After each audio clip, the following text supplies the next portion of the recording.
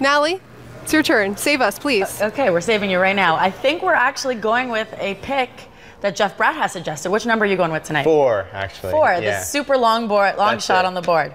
Yeah. Okay, good. Big money. Big money. If that horse comes in first, second, or third, I have a feeling you'll be a happy guy. Cool. Yeah, totally be happy. Okay, so we're gonna go place that wager, watch the race, and get back to you guys and see what happens.